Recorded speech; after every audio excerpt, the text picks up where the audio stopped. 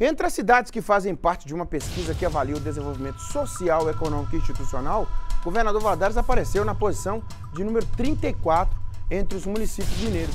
Nossa reportagem conversou com dois deputados da nossa região e, segundo eles, a solução está na integração de forças para que o município conquiste uma melhor colocação no ranking. Vamos ver aqui, pode balançar.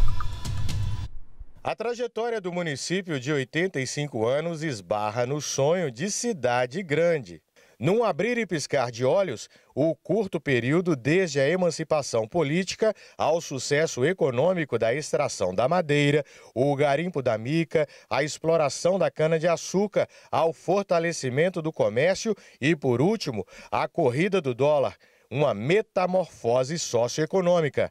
A nossa região também sofre um processo de empobrecimento que vem de alguns anos, até pela forma indevida que foi explorada essa região, né? a destruição ambiental, destruição é, social aqui da região, né? o Rio Doce sofre muito. Então, nós estamos num processo de desertificação aqui na região. O empobrecimento da região, do ponto de vista ambiental, causa também empobrecimento habitacional todas as nossas cidades aqui da região têm perdido a população. Há uma necessidade de fazermos um trabalho em conjunto, eh, nós, lideranças aqui da região, políticos, setor produtivo, né? a gente reunir todas as nossas forças no sentido de estar trabalhando e pensando um desenvolvimento territorial, regional do leste de Minas, do Vale do Rio Doce e, consequentemente, governador Valadares. De acordo com o CLP, Centro de Liderança Pública, governador Valadares ocupa a 34ª colocação no estado em políticas que prestigiam o desenvolvimento social, econômico e institucional. A pesquisa do Centro de Lideranças Públicas leva em consideração questões básicas dos municípios, como a geração de emprego, a sustentabilidade fiscal, o equilíbrio das dívidas públicas, educação, inovação, o cuidado com o meio ambiente, também o saneamento básico, dentre outras. Numa escala de 0 a 100, governador Valadares obteve nota 50,78. A pesquisa só nos trouxe a informação que nós que vivemos aqui no governador Valadares sabemos.